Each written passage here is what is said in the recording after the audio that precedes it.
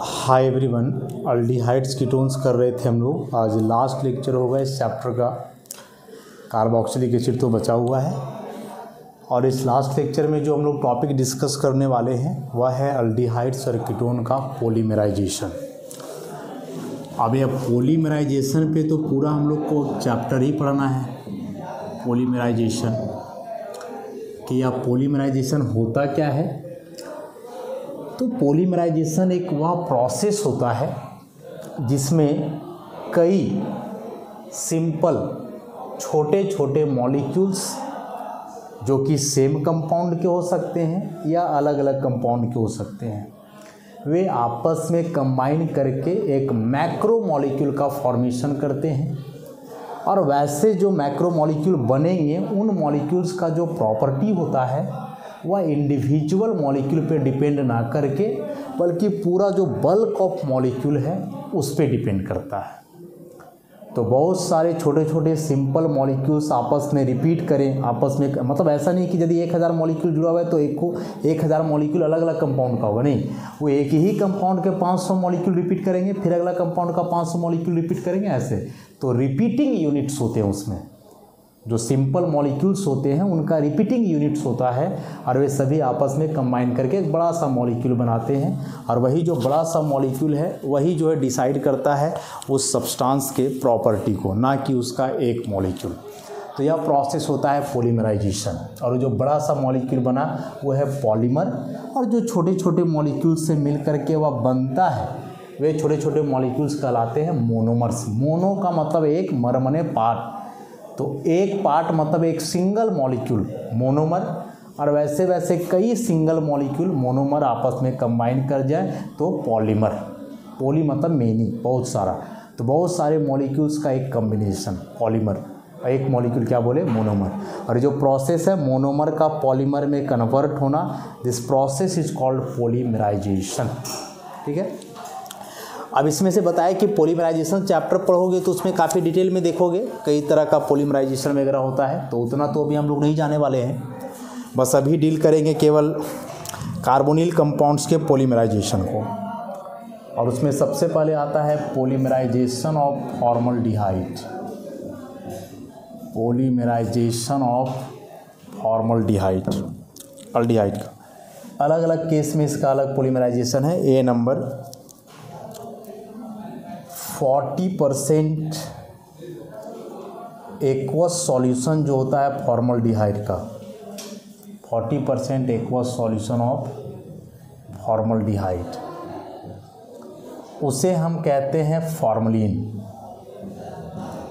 इसे हम क्या कहते हैं? Formalin forty percent aqueous solution of formaldehyde is called formalin अब इस फॉर्मलिन को क्या किया जाता है कि हीट किया जाता है। हीटेड टू ड्राइनेस मतलब एक्वस सॉल्यूशन है, तब तक हीट करते रहना है, जब तक कि उसका वाटर का मॉलिक्यूल वहाँ से उड़ ना जाए एक्वस फॉर्म गायब ना हो जाए। तो यहाँ से बनता है पैरा फॉर्मल्डिहाइड जो कि एक पॉलीमर होगा।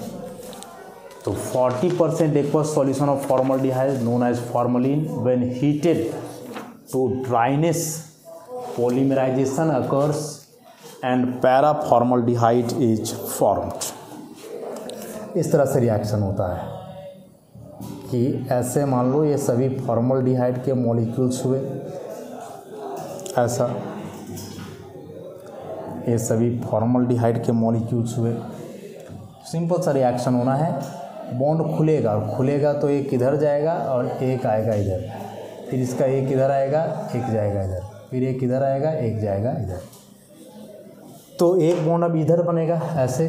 ये हो गया सी एच टू ओ फिर यहाँ सी एच टू ओ फिर ऐसे ही सी एच टू ओ ऐसे करके यह जो यूनिट है C H two O this is repeating unit यही यूनिट रिपीट करेगा पूरे पॉलीमर में। रिपीटिंग यूनिट इसका होल एन इसी को हम लोग कहते हैं paraformaldehyde paraformaldehyde जो कि वाइट क्रिस्टलिन सॉलिड है। वाइट क्रिस्टलाइन सॉलिड है। विथ फिशी ऑर्डर मछली के जैसा इसका स्मेल है। विथ फिशी ऑर्डर यहाँ जो एन है, वो एन की जगह बोल रहा है कि छः से लेकर के पचास तक हो सकता है। छः मॉलिक्यूल से लेकर के पचास तक। तो क्या बोले? 40 percent aqua solution of formaldehyde जिसे फॉर्मलिन कहा गया। इसे हीट किया जाता है ड्राइनेस तक, जब तक कि ड्राई ना हो जाए मतलब वाटर मॉलिक्यूल वहाँ से निकल ना जाए। पोलीमराइजेशन होता है इस तरह से, बहुत सारे फॉर्मल्डिहाइड के मॉलिक्यूल आपस में जुड़ने लगते हैं। ये जो पाई बॉन्ड है, खुलेगा। इस बॉन्ड का एक इलेक्ट्रॉन इधर आएगा, एक इलेक्ट्रॉन आगे जाएगा। फिर इस बॉन्ड का एक इलेक्ट्रॉन इधर आएगा, एक इलेक्ट्रॉन आगे जाएगा। तो इधर से आया एक इलेक्ट्रॉन और इधर से गया एक इलेक्ट्रॉन बीच में एक बॉन्ड बन जाएगा। वैसे करके बहुत सारे मॉलिक्यूल जुड़े रहते हैं। और देख ही रहो कि पूरे में यही मॉलिक्यूल रिपीट किया है। तो भले यहाँ पचास मॉलिक्यूल होंगे, लेकिन पचासों यही होने वाले हैं। इसलिए बोल रहे हैं रिपीटिंग यूनिट इनमें होगा। तो ये जो पैरा फॉर्मल है वाइट क्रिस्टलाइन सॉलिड बोर्डर फिशी ऑर्डर है। एन का वैल्यू भी इसमें लिखा हुआ है लिमिटेड बहुत ज़्यादा नहीं, पचास तक होता है। टी हुआ इसका पहला कंडीशन ए नंबर इसी में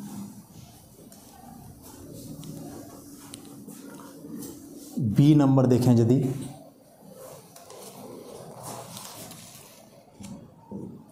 तो इसमें है फॉर्मल डिहाइड का 60 परसेंट सॉल्यूशन होता है, उसे कंसनट्रेटेड सल्फ्यूरिक एसिड के साथ ट्रीट करवाया जाता है।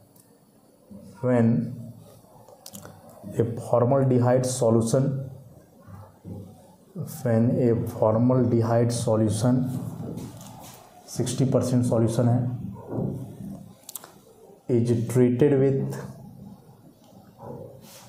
is treated with concentrated H2SO4 तो पोलीमराइजेशन होकर के पोली ऑक्सीमिथाइलिन का फॉर्मेशन होता है। एच फॉर्म ऐसा। जैसे n formaldehyde H C H O concentrated sulphuric acid होएगा। कंसनट्रेटेड सल्फ्यूरिक एसिड हीट तो ऐसा बनता है। सी एच टू का होल एन साथ में एच टू ओ और यहाँ देखो बोल रहा है कि एन हमेशा हंड्रेड से अधिक होगा। इसी को हम लोग कह रहे हैं poly oxymethylene this group is called oxymethylene oxygen है इसलिए ऑक्सी और सी एच टू को तो मिथाइलिन कहते ही हैं। सो ऑक्सी मिथाइलिन और एन बहुत ज़्यादा होने वाला है that's why poly oxy methylene और एक तीसरा केस इसमें है सी नंबर में, कि फॉर्मल डिहाइड जो कि गैसियस फॉर्म में होगा फॉर्मल डिहाइड गैस ही होता है। यहाँ सॉल्यूशन फ़ेज़ लिया गया है इसका। तो फॉर्मल डिहाइड जो कि गैसियस फॉर्म में होगा, इस फॉर्मल डिहाइड गैस को केवल क्या करना है कि छोड़ देना है? स्टैंड एट रूम टेम्परेचर जो गैसियस फॉर्म का फॉर्मल डिहाइड है, जिस बर्तन में है, बस उसको छोड़ देना वैसे ही रूम टेम्परेचर पे। तो पोलीमराइजेशन हो जाएगा यहाँ से और मेटा फॉर्मल डिहाइड का फॉर्मेशन होता है। मेटा फॉर्मल डिहाइड ऊपर में पैरा फॉर्मल डिहाइड बना था, यहाँ क्या चीज़ का फॉर्मेशन होता है? मेटा फॉर्मल डिहाइड का। कैसे होता है रिएक्शन देखो। H C H double bond O फिर यहाँ हो जाएगा C H H double bond O फिर यहाँ C H H double bond O तीन मोल इन्वॉल्व है फॉर्मल डिहाइड का। रूम टेम्परेचर पे पोलिमराइजेशन होगा। ए बॉन्ड आकर के यहाँ जुड़ेगा ये यहाँ जुड़ेगा और ये जा करके इस कार्बन पे। क्या बन जाएगा? ये हो गया सी एच टू ये हो गया ओ फिर यहाँ जुड़ेगा सी एच टू फिर इधर हो गया ओ फिर यहाँ हो गया सी एच टू फिर यहाँ ओ और फिर ऐसे। This is metaformaldehyde इसी को ट्राई ऑक्सीमिथाइलिन भी कहेंगे। ट्राई ऑक्सीमिथाइलिन तीन ऑक्सीजन है, एक, दो, तीन, और तीन मिथाइलिन है C S two C S two C S two इसलिए ट्राई ऑक्सी मिथाइलिन तो यह तीन केस रहा फॉर्मल डिहाइड का पोलीमराइजेशन के लिए जो है तीन केस एक और है, बीच में देखेंगे हम लोग। तीन केस में पहला केस हम लोग क्या देखें? कि फॉर्मल डिहाइड का फोर्टी परसेंट एक्वस सॉल्यूशन जिसे फॉर्मलिन कह रहे हैं, उसका पोलीमराइजेशन से पैराफॉर्मल बन रहा था। बी में 60 परसेंट सॉल्यूशन लेकर के कंसनट्रेटेड सल्फ्यूरिक एसिड से हीट किए तो पोलीऑक्सीमिथाइलिन बना। और सी में फॉर्मल गैस को वैसे ही छोड़ दिया गया रूम टेम्परेचर पे तो मेटाफॉर्मल बन गया। नेक्स्ट जो कि सबसे इंपॉर्टेंट है, वह है फिनॉल के साथ पोलीमराइजेशन फिनॉल के साथ पोलीमराइजेशन सबसे इंपॉर्टेंट वही है।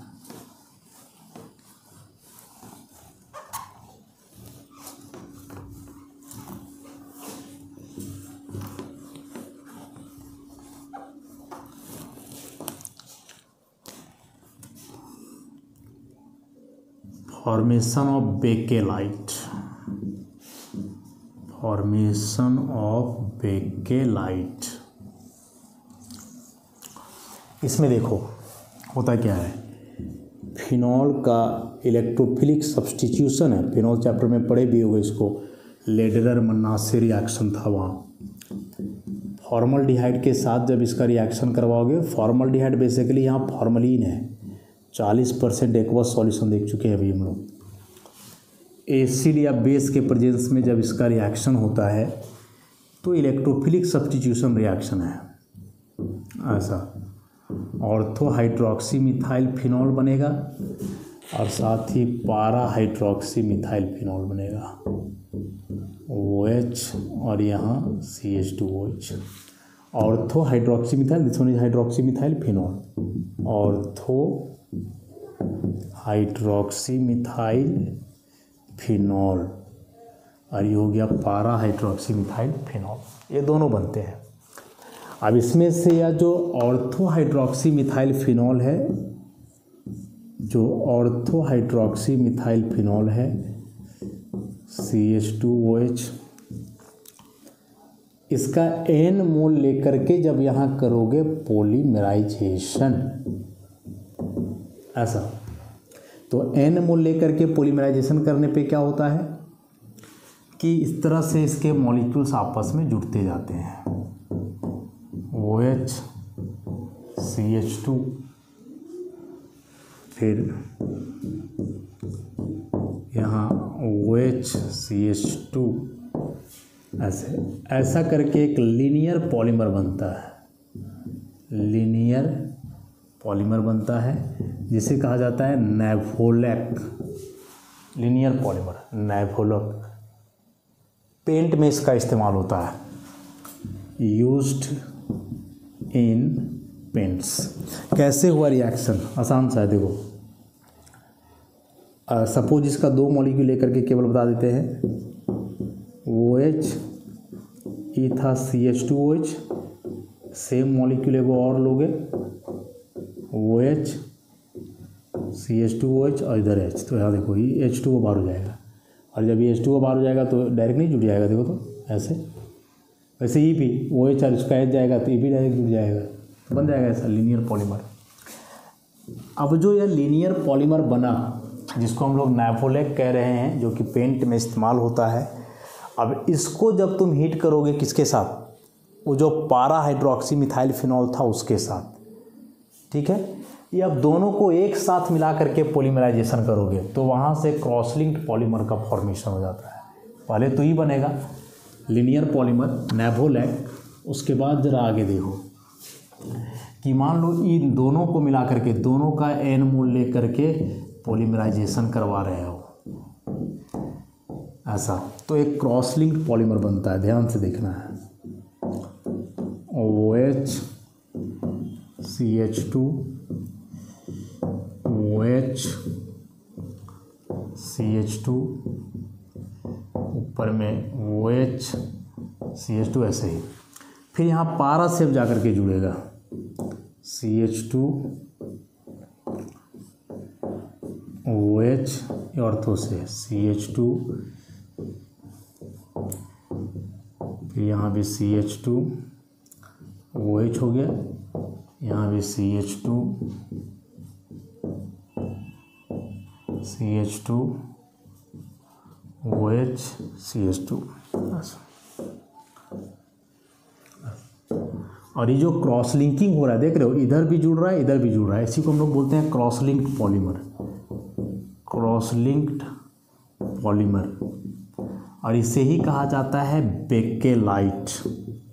This is bakelite. Formaldehyde और फिनॉल का एक क्रॉस लिंक्ड पॉलीमर है, जिसका इस्तेमाल किया जाता है बनाने में। इलेक्ट्रिकल गुड्स, कॉम्स, कंघा, कंघी वगैरह जो होता है, वो सब बनाने में इस्तेमाल किया जाता है इसका। पॉलीमर चैप्टर में पढ़ोगे इसका यूज़ वगैरह, जानोगे वहाँ। तो समझ गए? फॉर्मलडिहाइड और फिनॉल का सबसे पहले इलेक्ट्रोफिलिक सब्सटीट्यूशन रिएक्शन हुआ लेटर मनासे रिएक्शन। तो ये बना। अब इसमें से केवल ऑर्थो हाइड्रोक्सी मिथाइल फिनॉल है तो इसका लीनियर पोलिमराइजेशन होकर के नेबोलैक बनता है। और दोनों को एक साथ मिला करके करोगे तो फिर यहाँ क्रॉस लिंकिंग हो जाता है और इस तरह का प्रोडक्ट बनता है, जिसे हम क्या कहते हैं? बेके लाइट कहते हैं। बेके लाइट के नाम से जानते हैं। तो चारों में से वेरी वेरी इंपॉर्टेंट कौन हो गया? यही वाला। बेके लाइट वाला। फॉर्मल डिहाइड का जो चार केस बताया, उसमें से सबसे इंपॉर्टेंट यही है। ध्यान रखोगे। नेक्स्ट अब आता है polymerization of acetaldehyde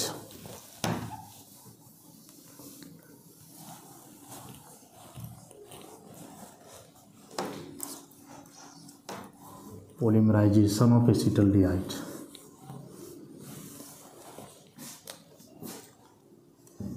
formaldehyde का चार केस देखे हम लोग? नेक्स्ट पोलीमराइजेशन ऑफ़ एसिटल्डिहाइड इसमें से भी कई केसेस हैं। सबसे पहला केस कि कंसंट्रेटेड सल्फ्यूरिक एसिड के प्रेजेंस में रूम टेम्परेचर पर एसिटर डिहाइड का पोलीमराइजेशन होता है पैरल डिहाइड में। In the presence of in the presence of concentrated sulphuric acid acetaldehyde acetaldehyde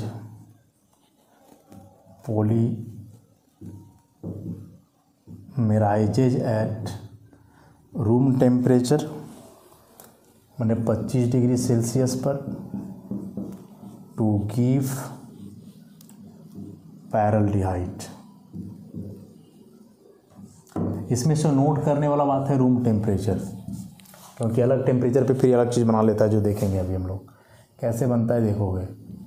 This is acetaldehyde C H three C H O C H three C H O इसी का तीन mole involve होना है। ऐसे, फिर यहाँ C H C H three ऐसे। Concentrated sulphuric acid 25 degree Celsius. Simple सा रिएक्शन है यहाँ जुड़ेगा, ये जा करके यहाँ जुड़ेगा, यहाँ। पॉलीमराइजेशन में सही तो होता है, बाकी मैकेनिज्म वहाँ पढ़ोगे। C H three C H O C H C H three O C H O C H three ऐसा। और इसे ही हम कहते हैं पैरल जो कि एक साइक्लिक ट्राइमर है।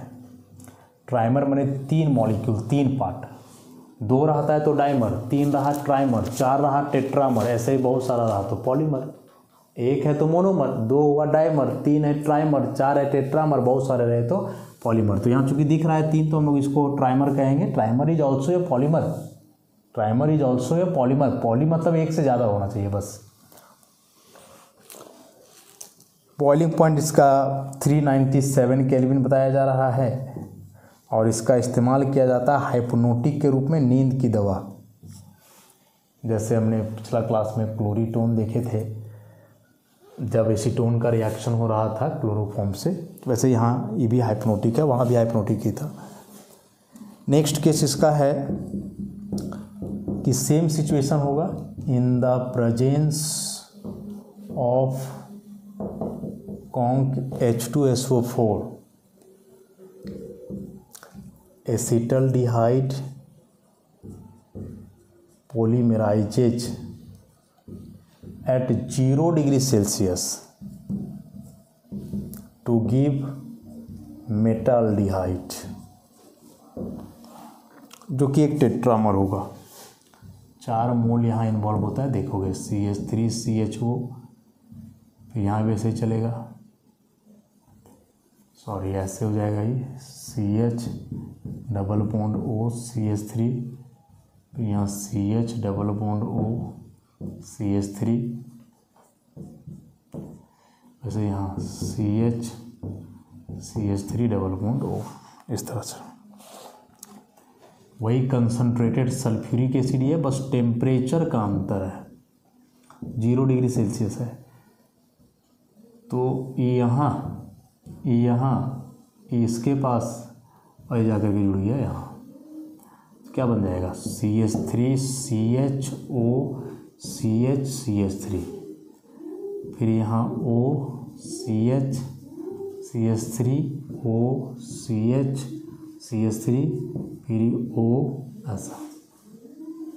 दिस इज़ टेट्रामर चार मोलिक्यूल जो है ना, एक, दो, तीन, चार। टेट्रामर इसको कहते हैं हम लोग। And this is metaldehyde इसका इस्तेमाल एक सॉलिड फ्यूल के रूप में किया जाता है, ईंधन के रूप में। देख लो थोड़ा सा अंतर है। ट्राइमर बना हाइयर टेम्परेचर पे 25 डिग्री पे तो वह हाइपनोटिक है। वही टेट्रामर बना lower temperature zero degree Celsius पे तो क्या कहलाया? मेटल डिहाइड जो कि एक सॉलिड फ्यूल है। मतलब एक दवाई है तो दूसरा फ्यूल है। नहीं, एक दवाई है तो दूसरा इसमें क्या है? फ्यूल है। इसका इस्तेमाल है। तो एसिटल डिहाइड का दो तरह का पॉलीमराइजेशन याद रखोगे, बड़ा इंपॉर्टेंट है कि the polymerization of acetaldehyde in the presence of conc H two S O four at this temperature give option दिए रहेंगे। बस टेम्परेचर वाला बात ही इसमें इंपॉर्टेंट है। और एक लास्ट अब इसमें आता है, एक लास्ट अब इसमें आता है पोलीमराइजेशन ऑफ़ एसीटोन अल्डिहाइड में दो देख लिए ना हम लोग। Formaldehyde acetaldehyde polymerization generally lower member का होता है। तो कीटोन में जो सबसे छोटा मेंबर है, वह एसीटोन है। और वही इंपॉर्टेंट है एग्ज़ाम में इवन एक दफ़ा, एक दो दफ़ा पूछा जा चुका है। बोर्ड का ही फाइनल एग्जामिनेशन में।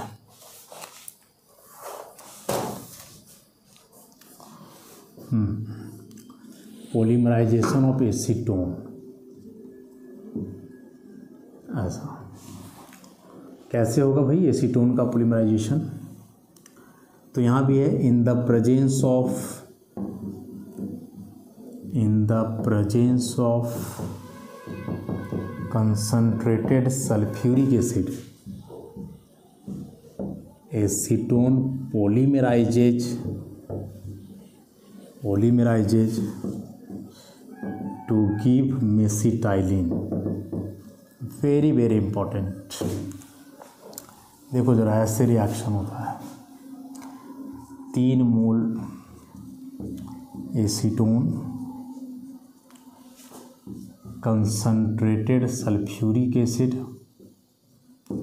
heat mesitylene बनेगा।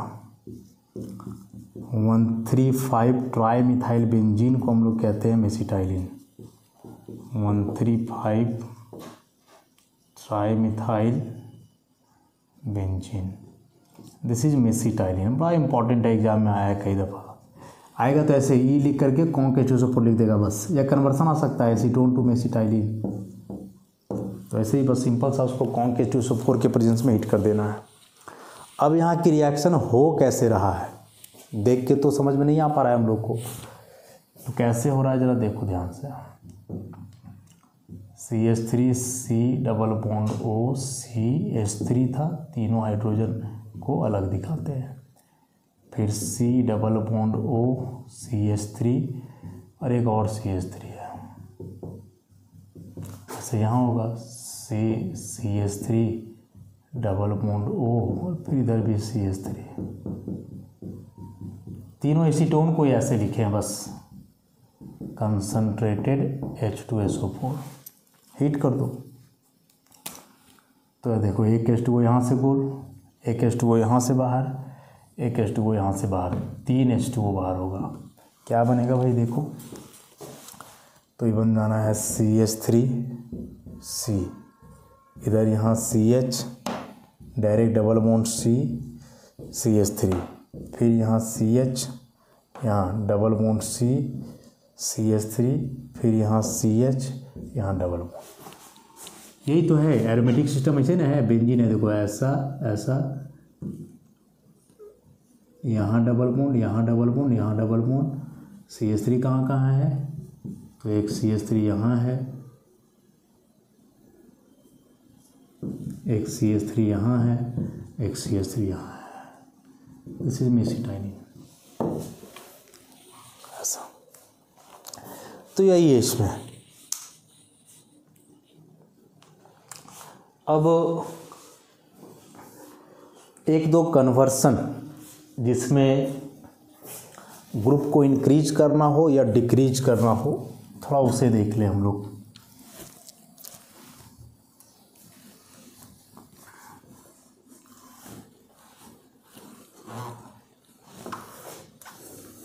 लोअर मेंबर को हाइयर मेंबर में करना हो और हाइयर मेंबर को लोअर मेंबर में करना हो? कैसे होगा? जैसे कन्वर्सन दिया हुआ है, मान लो formaldehyde to acetaldehyde एक कार्बन से दो कार्बन का डिहाइड बनाना है। तो फॉर्मल डिहाइड तो जानते ही हो H C O H this is formaldehyde acetaldehyde एक कार्बन में बढ़ाना है इसको। तो पीछे सारा रिएक्शन पढ़ ही चुके हैं चैप्टर एंड कर चुका है। तो पहले इसको अल्कोहल में बदल लो ग्रिग्नार्ड रिएजेंट से रिएक्शन करवाओ। ईथर मीडियम फिर हाइड्रोलाइसिस करते हैं। ऐसे। तो ये माइनस प्लस कैसे होता था? यहाँ ये अटैक करता था, फिर हाइड्रोलाइसिस हो रहा था तो डायरेक्ट बन जाएगा इथेनॉल अब इथेनॉल से इथेनॉल बनाना कौन सी बड़ी बात है? ऑक्सीडेशन कर दो डिहाइड्रोजनेशन कर दो, जो भी करना है करो। C H two C L या फिर कॉपर के साथ डिहाइड्रोजनेशन दोनों चलेगा। और तो ये बन जाएगा एसिटल डिहाइड में C H three C H O acetaldehyde हो गया formaldehyde acetaldehyde next उल्टा इसका, कि यदि बदलना हो एसिटल डिहाइड को किसमें? फॉर्मल डिहाइड में। तो कैसे होगा? तो उल्टा बने ऐसे ही उल्टा नहीं चलना है, इसका रिएक्शन अलग होगा ना। ये acetaldehyde first of all इसका ऑक्सीडेशन कर दो पोटासियम डाइक्रोमेट वगैरह के साथ। एसिडिक मीडियम है। तो बन जाएगा एसिटिक एसिड एसिटिक एसिड को बदल दो सिल्वर में।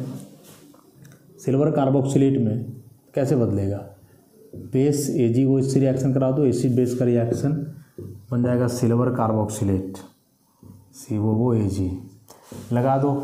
कौन सा reaction Hunsdiecker reaction B R two C C L four तो बनेगा C H three B R फिर लगा दो एक्वस के ओ एच तो बन जाएगा C H three O H और वापस अब इसका डिहाइड्रोजनेशन या ऑक्सीडेशन करवा दो P C C C H two C L two तो H C H O formaldehyde तो यह एक एग्ज़ाम्पल दिया हमने। फॉर्मल डिहाइड को एसिटल डिहाइड में बदलना हो या एसिटल डिहाइड को फॉर्मल डिहाइड में बदलना हो। ऐसे ही कई रिएक्शंस है जिसको लेकर के आप चल सकते हो। एसिटल डिहाइड से प्रोपेनल बनाना हो तो यही चलेगा। प्रोपेनल से वापस एसिटल डिहाइड बनाना हो तो यही चलेगा।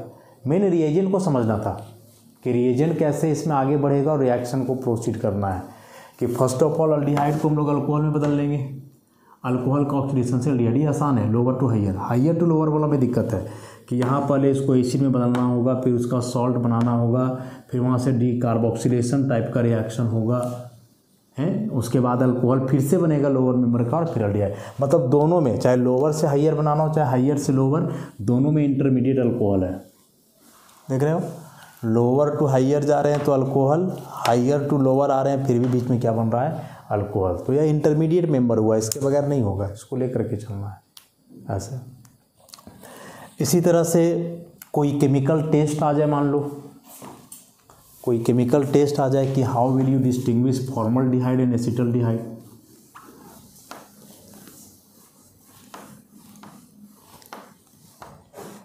ऐसा। Formaldehyde versus acetaldehyde कैसे अंतर करोगे? केमिकल दिया हुआ है दोनों। कैसे हम लोग डिस्टिंग्विश करेंगे? तो बड़ा सिंपल सा काम करोगे भाई। आइडोफॉर्म टेस्ट को लगा देना। हालाँकि कई वैसे रिएक्शन हैं जो फॉर्मल डिहाइड करता है एसिटल डिहाइड नहीं एसिटल डिहाइड करता है तो फॉर्मल डिहाइड नहीं।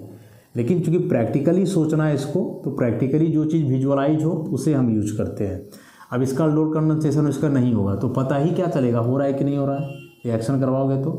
हाइड्रोफॉर्म टेस्ट में पता चलता है येलो प्रिसिपिटेट की वजह से।